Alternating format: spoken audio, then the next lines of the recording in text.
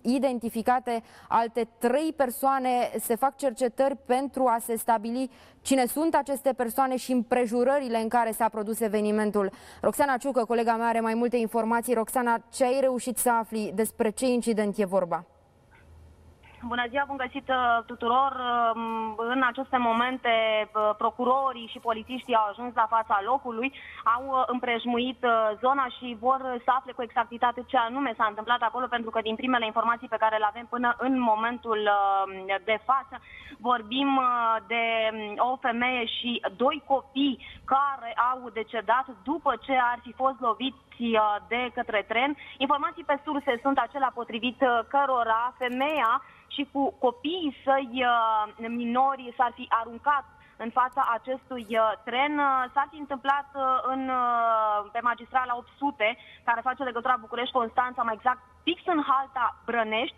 Rămâneți și dumneavoastră alături de noi pe Antena 3, pentru că de îndată o să venim cu imagini la fața locului. Este așadar un caz de-a dreptul și de-a dreptul spectaculos, pentru că uh, vom încerca și cu siguranță vom afla de ce, ce anume a determinat-o pe această femeie, iată, uh, să-și ia viața și mai mult decât atât să ia viața copiilor. Cu siguranță că sunt povești uh, surprinzătoare în spatele acestui gest șocant. Uh, mare atenție așadar celor care tranzitează zona în aceste momente să pe acolo. Înțeleg că, nu știm... Să înțeleg că poate fi vorba, Roxana, despre o tentativă de sinucidere din datele pe care le ai până în acest moment? Lorena, din primele informații, informații pe surse venite până în momentul de față, da, se ia în calcul varianta ca mama să se fie aruncat intenționat în fața trenului cu uh, copiii săi. Dar, spuneam, sunt informații pe surse, cine știe ce s-a întâmplat acolo, uh, tot din informațiile pe care le am, se pare că în uh, respectivul tren ar fi fost mai multe persoane și aceste persoane uh, în momentul de față ar fi coborât din uh, respectivul tren și așteaptă acolo să uh, fie poate preluate respectivele persoane de un alt tren și să ajungă la, la destinație. Așadar, rămâneți alături de noi pe Antena 3. Vă reamintesc informația în momentului faptul că o femeie și copiii săi s-ar fi aruncat în fața trenului, au pierit pe loc.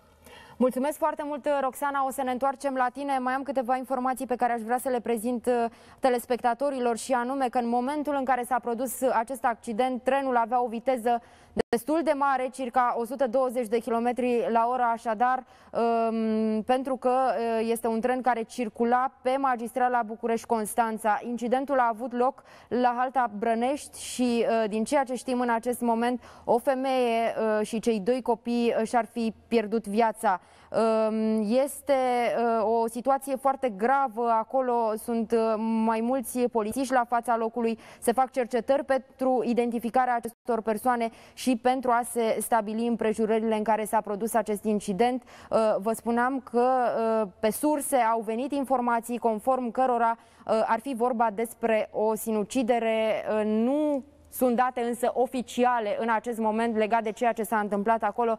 Așteptăm uh, în minutele următoare lămuriri din partea autorităților uh, care intervin. Uh, cel mai probabil, cel mai probabil că uh, traficul feroviar uh, va fi uh, reluat. Nu se știe cât va mai dura.